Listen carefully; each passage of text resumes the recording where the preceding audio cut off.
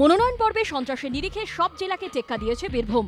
ভোটের আগেই এই জেলার বিয়াল্লিশটি জেলা পরিষদের মধ্যে একচল্লিশটি এবং উনিশটি পঞ্চায়েত সমিতির মধ্যে চোদ্দটি কার্যত দখল করেছে তৃণমূল। অভিযোগ, সামান্য যে কটি আসনে ভোট হওয়ার সম্ভাবনা রয়েছে, সেখানেও বিরোধী কাটা উপড়ে ফেলতে চাইছে শাসক। যে কজন বিরোধী প্রার্থী মনোনয়ন দিতে পেরেছেন, তাদের উপর এখন মনোনয়ন প্রত্যাহারের জন্য মুহুর্মুহু আসছে চাপ। ডেকা গ্রাম পঞ্চায়েতের বিজেপি প্রার্থী বাহা হেমব্রমের স্বামী সুনীল হেমব্রমকে সম্প্রতি বাড়ি থেকে বার করে নিয়ে গিয়ে বেধড়ক মারধর করা হয় বলে অভিযোগ। হুমকি দেওয়া হয়। মনোনয়ন না তুললে স্ত্রীকে অপহরণ করা হবে। এরপর এক প্রকার বাড়ির যে গৃহকর্তা সে বাড়ি ছেড়ে তিনি তার দলীয় যে কার্যালয় সেখানে এসে আশ্রয় নিয়েছেন। গলায় গামছা নিয়ে টেনে বার করে দেয়।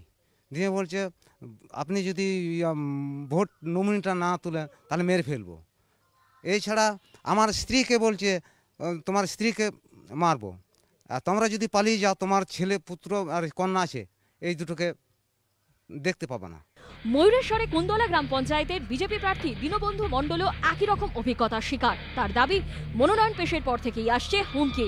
এমনকি মনোনয়ন না তুললে বোমা মেরে বাড়ি উড়িয়ে দেওয়ার শাসানি পর্যন্ত দেওয়া হয়েছে।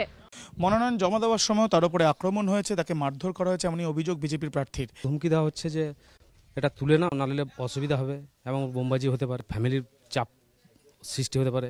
এই বিভিন্নভাবে আমাকে চাপ সৃষ্টি করা। বিজেপি প্রার্থীদের লড়াইয়ের আগেই মাঠছাড়া করতে তৃণমূল লাগাম ছাড়া সন্ত্রাস চালাচ্ছে বলে অভিযোগ করেছেন এক বিজেপি প্রার্থীর প্রস্তাবকও।